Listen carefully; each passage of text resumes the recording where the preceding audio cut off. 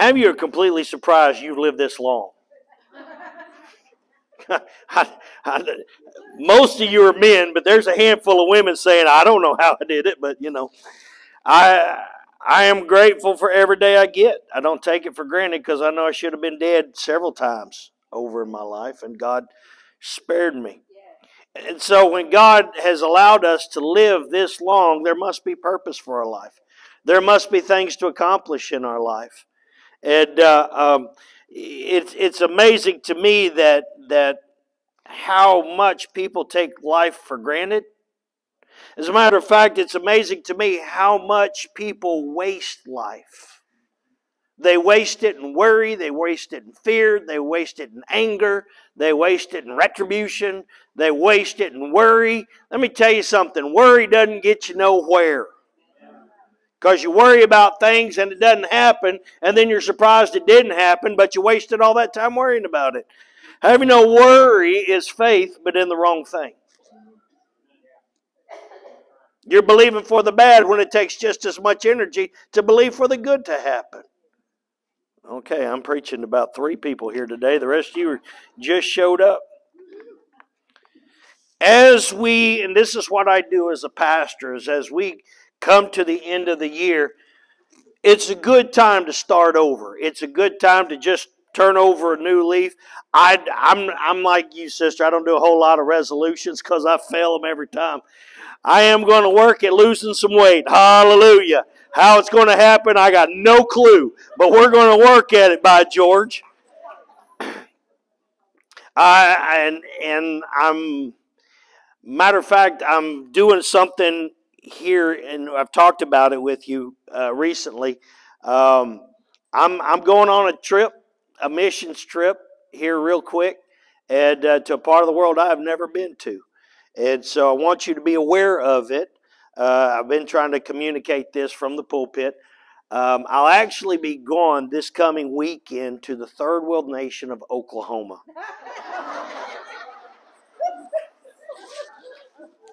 Pray for me, brothers and sisters. I've got a I've got a buddy who's a cowboy pastor up near the Lawton, Oklahoma area, and his him and his wife are celebrating 30 years.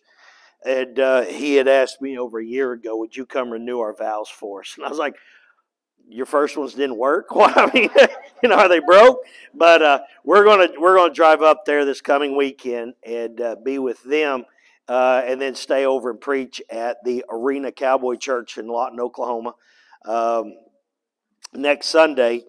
Come home on Sunday, wash clothes, and on, on Monday and then on Tuesday board a plane for Liberia, Africa. And uh, I'm going to be asking for your prayers uh, as I go to Africa. And uh, it's in West Africa. Somebody say, watch out for lions and, and you know elephants and all that. That's on the other side of Africa. What I got to watch out for is Muslims. so I would like for you to be praying for me as I go to Africa. I'll leave on the 9th. I'll be back on the 20th. And uh, be in church. I'll be dragging my jet lag self in here on the 21st to come be with, and I want to see all your happy, smiling faces. Okay? So I want you to hear this from your pastor. I love you very much. Behave while I'm gone. I feel like mom and daddy, you know. Yeah, I'm going to be gone for a little while.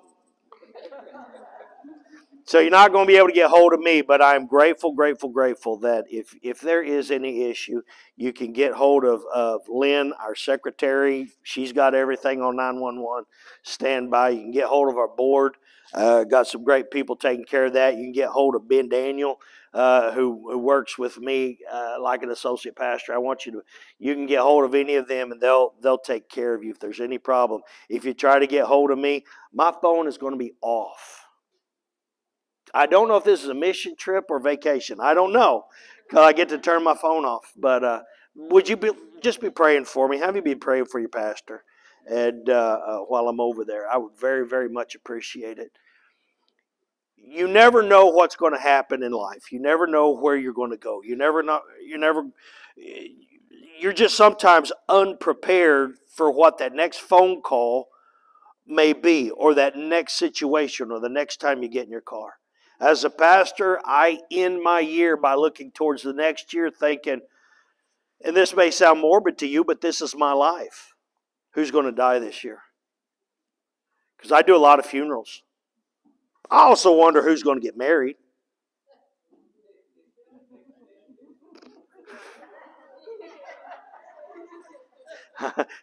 Somebody's kind of saying, well, it's about the same, you know.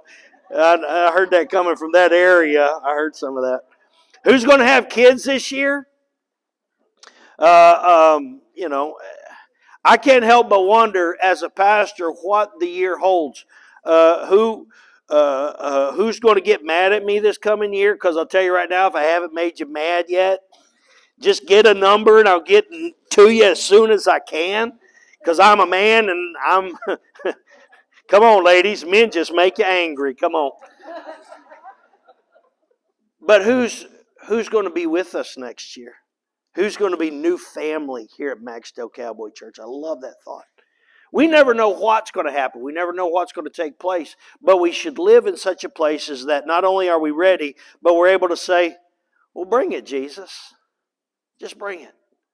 Because I don't know about you, I've lived my life enough as a younger man in a lot of fear and frustration. I used to be a news hound. Man, I used to be all about the news. I, I had Fox News, getting all the stuff. I'm reading the newspaper. I had Rush Limbaugh on. Any Limbaugh heads out there? Okay. Man, I, I, I didn't like the other guys because they argued too much. And uh, But I liked Rush. I liked listening to him. And, uh, but I found out that the more I listened to the news, the more I watched it, the more I absorbed it, uh, I became more depressed and more frustrated. And I realized why. I'm feeding myself a steady diet of bad news. I mean, think about what's going on today. If you and, and I, it's not that I don't keep up with things. As a matter of fact, I'm looking at news headlines every day. I catch enough through the news headlines. I don't have to immerse myself in the rest of it. But I do want to keep up with what's going on in the world today. And if you're paying attention, you're looking at the Israeli Palestinian conflict and all the fighting that's going on over there in Israel. And uh, I am so, um, I guess I'm just revealing who I am. I get so frustrated at our news that tries to say, well, Israel's trying to find a victory in this somehow. Israel's been attacked again and again and again from this people that live within it. Do you understand what the Palestinian areas where they rule Gaza, where they rule uh, uh, Bethlehem? If you want to see Jesus' birthplace, uh, uh that's a Palestinian ruled area. Jericho. And to think of if you when they talk about a two-state system, think about this. You know what? We're going to carve out a piece of Texas that goes from uh, Austin uh, uh, up to Dallas down to Houston and form a triangle right there, and we're going to make it a whole nother state. Think about that. Suddenly you lose this chunk of your state, and it's going to become something else, and all they do is attack you. Brother Mike, you're getting pretty political. No, not really. But I need you to understand what's taking place.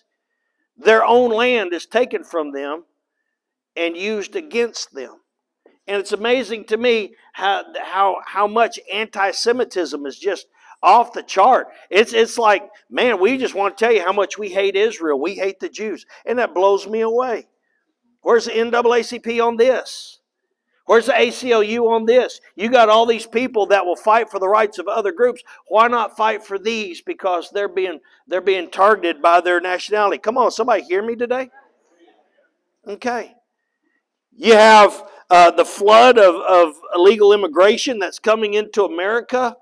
You have a totally upside down economy. Uh, you have greater political divide in this nation. You have an uncertainty of elections. We have elections, and we don't know that we can trust the election process. Is are we actually getting what we voted for? And America is becoming not only more and more anti-Israel, but America is becoming more and more anti-church. And I look at all that stuff, and crime's going up, and this is going up, that's going up, and I start getting depressed. Is anybody with me? Have you got depressed from me talking for the last five minutes? I can't take a steady diet of that. I can't handle that. And that's just a few of the things that's coming across. That's just a, uh, the tips of the iceberg of what we deal with as Americans. And listen, before you'll ever hear me gripe about my nation because I'm an American and I vote and I have the right to gripe, if you didn't vote, you don't get to gripe. That was a very weak amen. High five me. I think that was pretty good. Pretty good point there. But I will tell you right now, before you start bashing America, realize we live in probably the greatest nation in the world. Why? We're free. Now I get frustrated because I feel like my freedoms are being curtailed. But at the end of the day, I'm going to Liberia, Africa, and I'm going to come back and I'm going to be saying, Oh, thank God I'm American. Because other nations don't have it as good as we do. We are blessed because of who our God is, and we've stood on the side of Jesus Christ. But anymore, I refuse to live life under depressing circumstances. Not if I don't have to. Boy, if I can get on a horse and go for a ride, I want to do it. If I can get on my four wheeler and go for a ride, I want to do it. If I can't do nothing else but turn on the TV and watch somebody else go on a horse ride, hallelujah, I'm going to do something that brings me peace. And sometimes that's hard to do. It's hard to do because we don't know how to let go. It's hard to do because we've conditioned ourselves to be negative. Listen to me for the next few minutes, friend, and we'll dismiss you in time for lunch. I promise you. But I need you to hear this. Science. Science says that there's a neurological reason for the cycle of negative thinking that we fall into. There's this little piece in your brain called the amygdala and it's that part of the brain that's believed to play a key role in your emotions. Uh, it becomes aroused, it remains in that state for a long time. Whatever that emotion is, it's stirred towards it. Fear, happiness, uh, uh, surprise, depression, all these sorts of things. And at the same time, a memory of the situation becomes imprinted into that part of the brain, and, uh, and it makes uh, uh, the more emotional the situation, the stronger the memory will be. How many you can remember some pretty traumatic times from your childhood? How many you can remember what you wore yesterday? How many can remember what you had for breakfast yesterday? It, I'm, you know, you got the younger people. They're like, I know all that. Okay, fine. Congratulations, you. You know, you get to that certain age. I remember 30 years ago pretty clearly, 30 minutes ago, as a struggle. But we have these things where there was a traumatic moment or or or it was a really good moment and it's imprinted there's a lot of our childhood we can't remember but we for sure remember those things and you'll hear a sound you'll smell a smell are you with me you'll see something and there's a trigger that goes on and it takes you back it takes you back to that point. I'll smell something and it'll remind me of school. Uh, uh, growing up as a kid out here in Florence, I'll or, or, or grown up on the farm or something like that. We'll, we'll have these little things, and it's because this has taken place.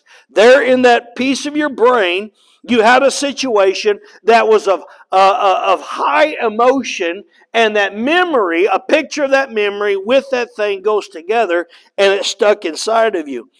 And over time, specific memories become attached to certain emotions. For example, feeling nervous uh, may bring back the memory of being fired from a job from years ago and the feeling is perpetuated.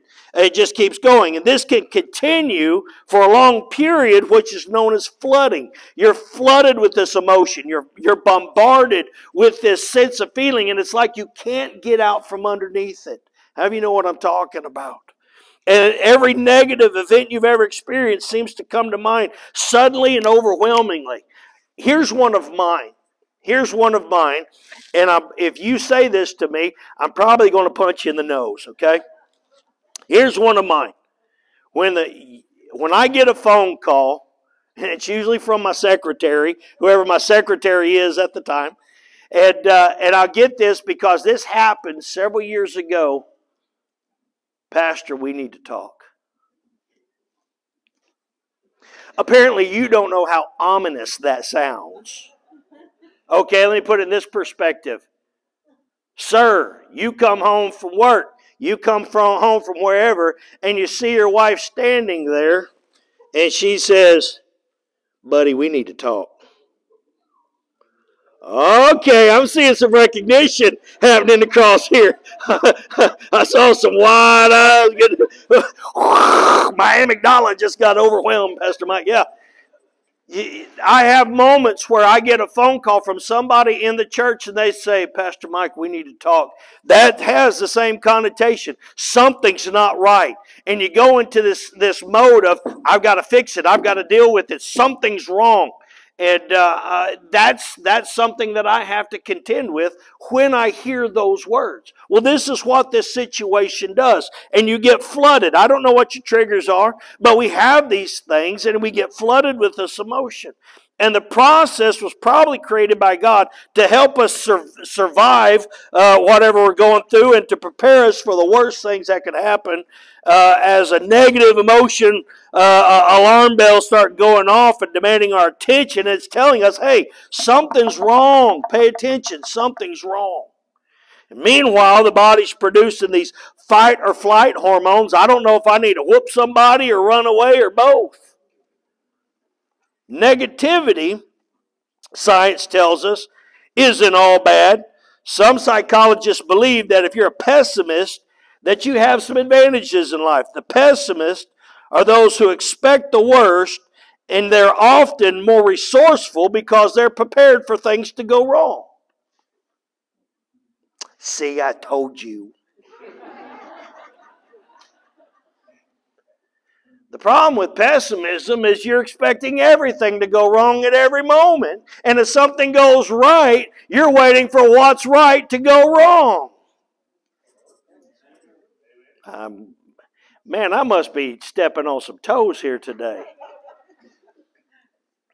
And so we condition ourselves to look for the negative, to look for what's wrong, to look for what's bad, uh, instead of believing something good can happen. Feeling down can encourage us to be alone for a while with God. It gives us a chance to have some insight, to give God a chance to speak to us, a chance to, to, to get our strength back. If I'm down, it ought to drive me to God and not to something else. Somebody hearing me. That's what should happen in your life. Depression, however, takes uh, it tends to make people more cautious and slow to act. We're not sure what to do. We're scared to do anything and becomes clear later that the feeling was a signal that the time wasn't right. Decisions and actions uh, uh, we're not as confident in doing because we're afraid. We're afraid. And what it all can boil down to is the fact that I'm not a confident person. You are not a confident person. You're not confident in yourself, or you're not confident in your God. Somebody hear me today. And we worry, and we don't realize it, but in our worry, we begin to ask, How can I be confident? Because I don't know how to get confident, because I'm not even thinking about God at the moment. All I'm thinking about is what's wrong with me. What's wrong with my situation? Let me tell you something, friend. You came to church, so you asked for this. If you're in any situation, God is there with you. As a matter of fact, God got there before you did, and God's already planned on how you're going to get out of that situation.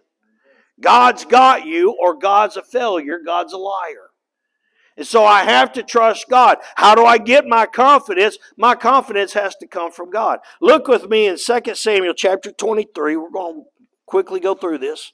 There's some guys that are listed there called David's mighty men. Now, if you're a guy, you're really going to like this. If you're a female, I hope you really like this. These are David's mighty men. They're great warriors that fought along David for God and country. So it starts at verse 8. It says, These are the names of the mighty men whom David had Joshua, Bath, uh, uh, Bathsheba, the Tachmonite, chief among the captains. He was called Adino the Eznite because he had killed 800 men at one time. That's a bad man. I don't think I could whoop two. unless they're even smaller than me. I might whoop three. Killed 800 men. And after him was Eleazar the son of Dodo the Ahohite, one of three mighty men with David when they uh, defied the Philistines who were gathered there for battle, and the men of Israel had retreated. He arose and attacked the Philistines until his hand was weary and his hand stuck to the sword. They literally had to pry his hand open to get the sword out of it. The Lord brought about a great victory that day, and the people returned after him only to plunder. Stop right there. Here's your free sermon. Be wary of the people who aren't willing to do the work with you, but they're willing to get all the reward from you. You do not need buzzards in your life. You do not need leeches in your life. A true friend, a true brother, a true sister is one that's going to go through with you. And they deserve the plunder alongside you. And it says, After him was Shammah the son of Agee the Hararite. The Philistines had gathered together into a troop where there was a piece of ground full of lentils. So the people fled from the Philistines, but he stationed himself in the middle of the field. He defended it, and he killed the Philistines. So the Lord brought about a great victory. Then three of the thirty men uh, went down at harvest time and came to David at the cave of Adullam. And the troop of Philistines encamped in the valley of Rephaim. And David was then in the stronghold, and the garrison of the Philistines was then in Bethlehem. And David said with longing, Oh, that someone would give me a drink of water from the well of Bethlehem, which is by the gate. Now, watch this. So the three mighty men broke through the camp of the Philistines, drew water from the well of Bethlehem that was by the gate, and took it and brought it to David. Those guys were awesome. Man, they, they fought tooth and toenail just to go get that brother drink of water. And look at what David did. Nevertheless, David would not drink it, but he poured it out to the Lord. And he said, Far be it from me, O Lord, that I should do this. Is this not the blood of the men who went in jeopardy of their lives? Therefore, he would not drink it. I don't know about you, but I probably hit David right square upside the head. I did all that. You go pour it on the ground for the Lord? okay. Some of y'all more spiritual than me. And he said, uh, Therefore he would not drink it. These things were done by the three mighty men. Now Abishai, the brother of Joab, the son of Zeruiah, was chief of the other of another three. He lifted a spear against three hundred men, killed them, and won a name among these three. Was he not the most honored of three? Therefore he became their captain. However, he did not attain to the first three. This is fascinating stuff to me because these are bad men in their own right. They're able to kill hundreds of people. Matter of fact, you didn't join this group unless you were bad. You whooped folk. You killed them. You didn't get to join this group unless, and it says these guys did incredible things, yet they didn't make it to the top three. How bad were they? But you see, these men rallied to David because David was a fighter. David was a fighter. David, uh, uh, David was in the right cause. He was a man of intense faith. Here are these men who ought to be leading their own armies, and they're going to David. That tells you something about David himself. David had a lot of failures in his life, but I will tell you this David was a charismatic man, and he loved the Lord, and he wanted to see God's people survive. God and country are noble causes, and a sudden invasion can cause you to act bravely. But you are brave and confident because it's who you are. You can't get brave, you got to be brave. And I want you to see this because eh, this needs to be imprinted in your mind. Circumstances do not dictate your character, they reveal it and become the opportunity to develop, refine, and grow it. Your circumstances are not going to dictate your character, it's just going to reveal it. You're going to act some way, and when the chips are down, you're going to become the real you. And people are going to see the real you. So your circumstances aren't going to make you, they're going to reveal you because you're made in what you're doing in your daily habits. So that's interesting to me. So let's keep going. Now there's a guy by the name of Benaiah, and he was the son of Jehoiada, the son of a valiant man from Kabzeel. who had done many deeds. He had killed two lion like heroes of Moab. He also, now pay attention to this, he also had gone down and killed the lion in the midst of a pit on a snowy day. And he killed an Egyptian, a spectacular man. The Egyptian had a spear in his hand, and he went down with his staff, wrested the spear out of the Egyptian's hand, and killed him with his own weapon. That's a bad man. The, these things Benaiah the son of Jehoiada did, and he won a name among the mighty three men who were more honored. He was more honored than uh, the thirty, but he did not attain to the first three, and David appointed him over his guard. Here's the point of that. Leave that. Why, why on earth? Yeah, go back one more. Go back one more. And he had gone down and killed a lion in the midst of a pit on a snowy day. Now think about this. You're traveling along, it's snowing, there's a big hole in the ground. You look down in there, and there's a lion, and he's mad, and he's hungry, and he's been down there a while, and he's ready to eat something. He wants to get out of there. Have you just willing to say, Cool? You laugh, but that's what he did. He went down, he just decided he's going to jump down in there. And, you know, why attempt something that doesn't matter? That lion's there. It's going to die. Why on earth are you going to go down there? Was he trying to keep it from suffering? It's a man eating lion. He needs to suffer. Hallelujah. Was he trying to impress people? No. I don't think that's what he was doing. I believe he went down there because he could. Just because he could. It was there. I know I can do it. And he went down there just to kill that lion. Here's what I want you to see fear will dominate your life due to the possibilities of failure. Somebody listen to me right now. Fear will dominate your life due to the possibilities of failure and whatever circumstances they may bring. What hap- what could happen? I might I might die. I might go bankrupt. I, I can't do this because I might get divorced. I might lose my job. I, I might experience pain. I might experience heartache. But at the same time, you might succeed. You might succeed. Understand this no man wins who's afraid of losing. No man wins who's afraid of losing. I got tickled when I found out we have a national motocross champion in our midst. Happy birthday to you. Yeah, you walked out of here. You walked out of here while we were singing happy birthday. Shame on you. Did you know did you know this lady right here is a national motocross champion? National. She's bad. She's bad.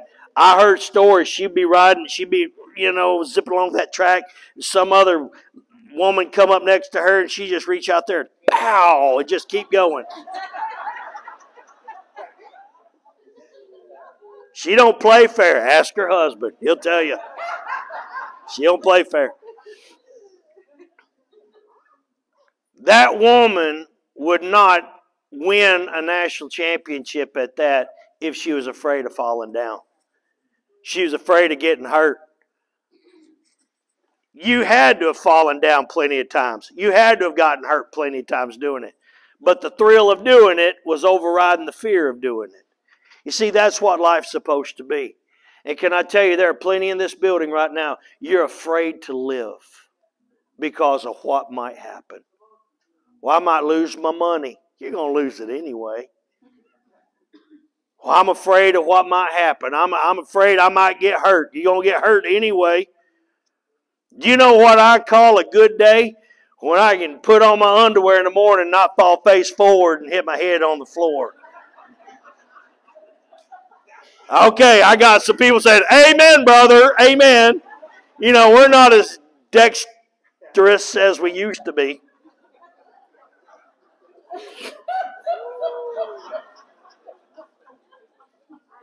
But you're not going to win at life if you're afraid. Are you hearing me? So let me ask you this. Let's bring put a caboose on this. What is it that keeps you from faithfulness to God? What is it that's keeping you from faithfulness? Well, I don't want to pay my tithe. Do you know who gets upset when the preacher preaches a sermon on tithing? People who don't tithe.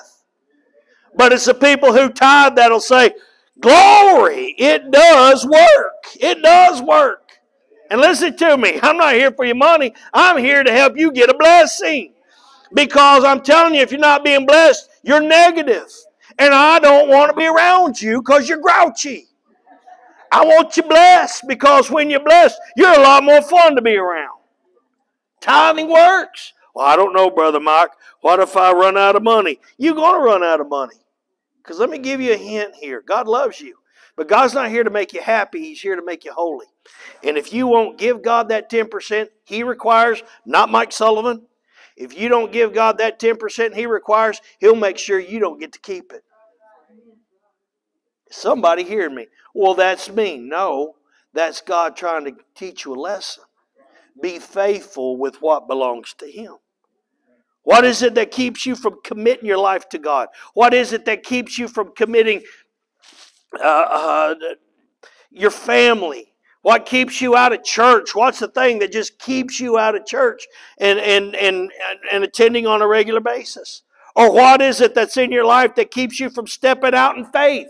And it may not have anything to do with here. God may be trying to get you to start a new business and you're afraid to do it. He may be trying to get you to start a new occupation. He may be trying to get you to, you know, you're 40 years old, you're 50 years old, and He's trying to get you to take a new step in life and try something new.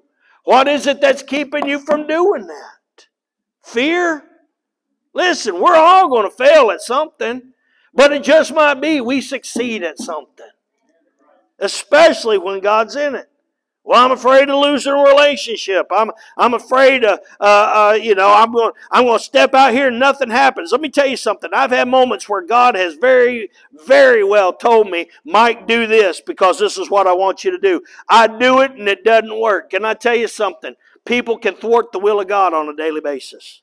If you don't believe me, when was the last time God told you to do something and you didn't do it? You thwarted the will of God. God's ultimate will will take place.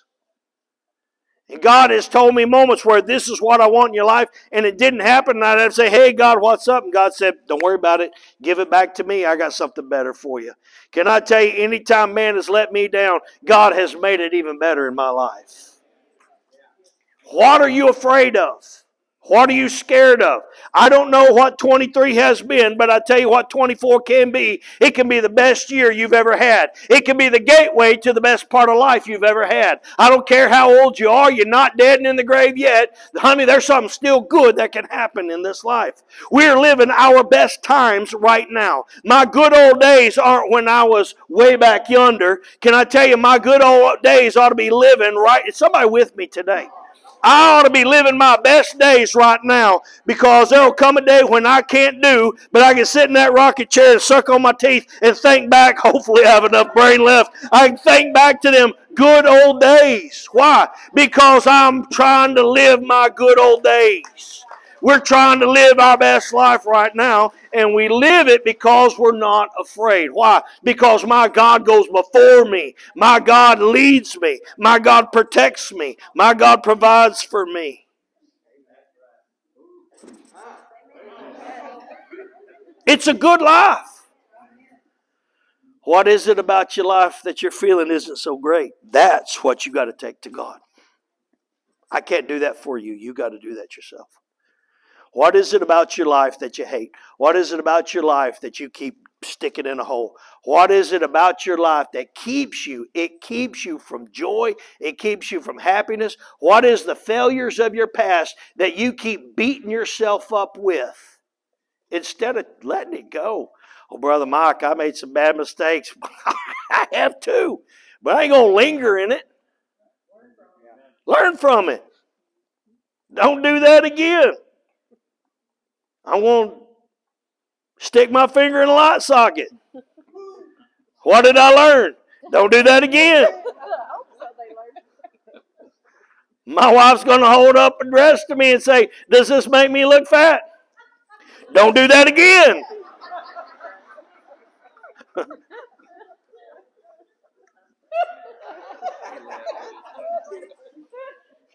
There's a good chance to say amen on that one. You guys are cowards. Cowards. Okay, yeah. Now that your wife's saying you're.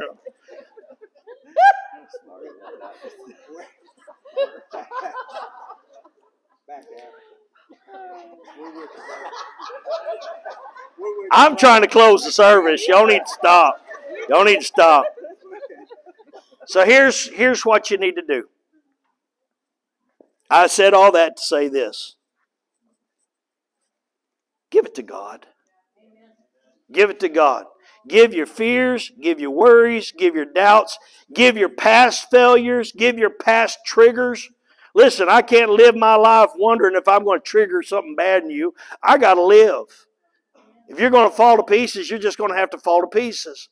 But I'm not falling to pieces with you. Instead, I want you to go with me to a better place. Bow your heads with me. At this moment, the Holy Spirit is bringing some things to your mind that you need to let go of personal failures, personal shortcomings, fears, doubts, worries. For somebody here today, this is really resonating with you, and I'm telling you, God wants to lead you to a better place in life. So, Lord Jesus, right now, with every head bowed, every eye closed, you see what we deal with. Lord, I don't have to have somebody tell me where I fall short. I don't have to have somebody tell me what my fears are. I already know what they are. So, Lord, what I pray today is deliver us from our fears. Come on, church, pray with me. Lord, I'm giving you my fears. I'm giving you my doubts. I'm giving you my worries. I'm giving you my failures. I'm giving you these things that hold me back, and Satan has no problem beating me with them. But instead, Lord God, of hiding in shame, I'm going to let my failures be a trophy of your grace. Instead of saying, What if? Lord, in 2024, I want to start saying, Even if. Instead of what if, I want to say, Even if. Even if this happens, even if it fails, I'm going to do this thing because I believe God is in it. Father, I'm believing for somebody to find some freedom this next year from the things that have held them back. And Father God, I'm believing in 2024 people to find their place in their destiny, people to find themselves soaring where they've been inching by. God, I'm believing for something good to happen in people's lives because they've let the past be in the past. Let that fear fly out the window, and instead they're going to have some faith that just might be God's going to do something. Father, I thank you for this day. I thank you for the people here. I thank you, Lord God, because I believe, I believe we are living our best days right now. Help us to live our best days right now, God. Father, I thank you for this time. I thank you for this church. Most importantly, I thank you for Jesus that gives us the chance at a new life. And Lord, we give you glory right now in Jesus' name. Somebody love the Lord said amen. Amen. Pastor Ben, come and close our service for us. Don't forget all the don't forget all the announcements that are in your bulletin there. Thanks coming up. Amen. I'd like our uh, praying elders to